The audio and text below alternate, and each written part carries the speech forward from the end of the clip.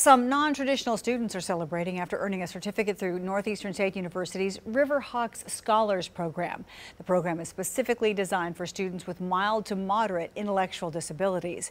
2 News Oklahoma's Danette Quesada talked with one of the graduates. The program gives students with developmental delays a chance to attend college and reach their goals just like everyone else. Keep up the good attitude, be honest, be organized, be happy and be smart. I got him. Sarah Perrick is among the first students to graduate from the Riverhawks Scholar Program at NSU.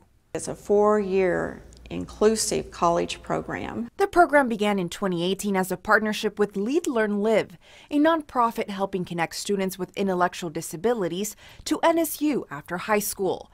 The program focuses on academics, independent living, social skills, and career development.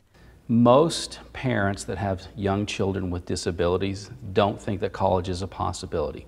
But Perrick is proving anything is possible when you dream big and are determined. If you can have a really fun campus life at NSU because it's my favorite experience and thank you for this prize opportunity. Saturday, she was among the first cohort of graduates to cross the stage to receive a certificate of community integration with a focus in history. I'm really proud of myself. I really am. And so is her family.